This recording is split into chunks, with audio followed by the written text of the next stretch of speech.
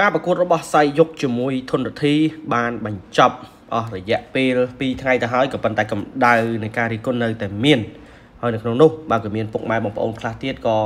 គិតថាការប្រកួតនេះគឺសមរម្យហើយបាទដែលកាត់សេចក្តីឲ្យស្មើព្រោះវាជាចំណងមិត្តភាពនៃការប្រកួតដាក់ខ្សែក្រវ៉ាត់ម្យ៉ាងម្នាក់និងបង្ហាញពីក្បាច់គុណបាទខ្មែរថៃអីចឹងទៅ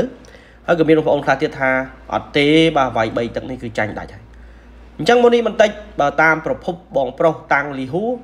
ដែលប្រិមិត្តបានស្គាល់ថាជាពិធីករដល់3មួយរូបនិងជាពិធីករបាទប្រចាំនៅស្ថានីយ៍បាទទូរទស្សន៍តតក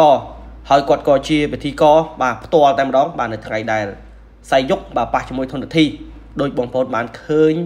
បាទនៅលើរូបអញ្ចឹងមុននេះបន្តិចបាទពិធីកររូបនេះគាត់បានលើកឡើងថាល្ងាចនេះនឹងមានសន្និសិទព័ត៌មាន បញ្ជាក់ជុំវិញការប្រកួតធនរដ្ឋីនិងសាយុកបាទអញ្ចឹងចាំមើលទាំងអស់គ្នាបងតាមដានទាំងអស់គ្នាថានឹងមានរឿងអីបាទកើតឡើងបន្តបន្តទៀត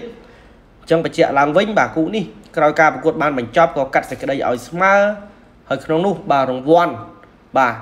ដាក់ឲ្យដណ្ដើមណាបើសិនជាឈ្នះបាន20លានសម្រាប់អ្នកឈ្នះក៏ប៉ុន្តែដោយសារតែស្មើបាទអញ្ចឹងខាង TVK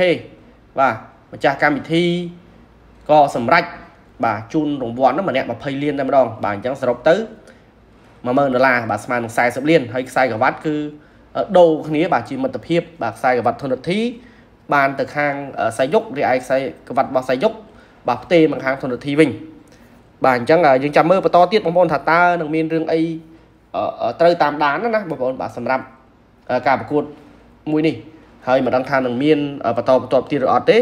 មួយវិញទៀតក្រោយការប្រកួតបានបញ្ចប់បាទខាងអ្នករៀបចំបណ្ដាលនៅ TVK ក៏បានបង្ហើបថានឹងមាន